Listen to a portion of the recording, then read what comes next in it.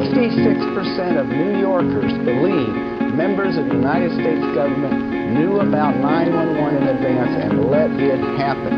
90% of the people in a CNN flash poll believe members of the United States government knew about 911 in advance and let it happen, and we have not had a real investigation.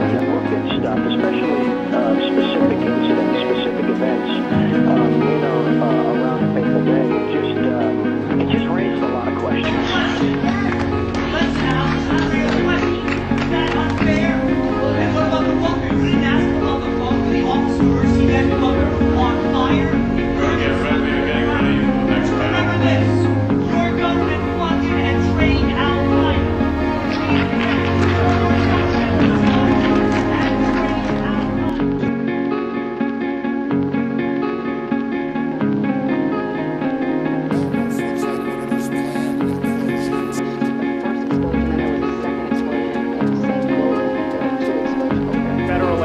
that were down there do believe that there was some sort of explosive device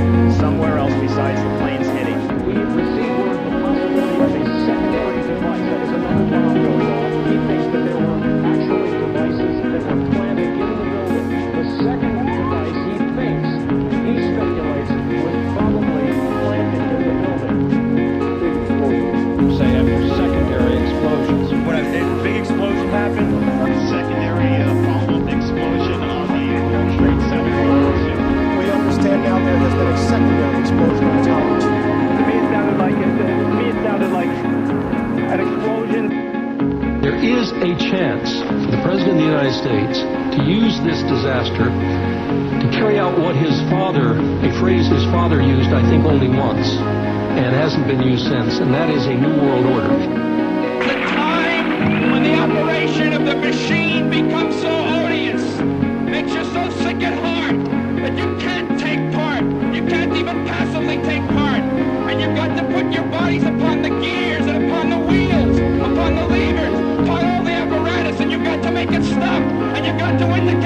people who run it, to the people who own it, that unless you're free, the machine will be prevented from working at all.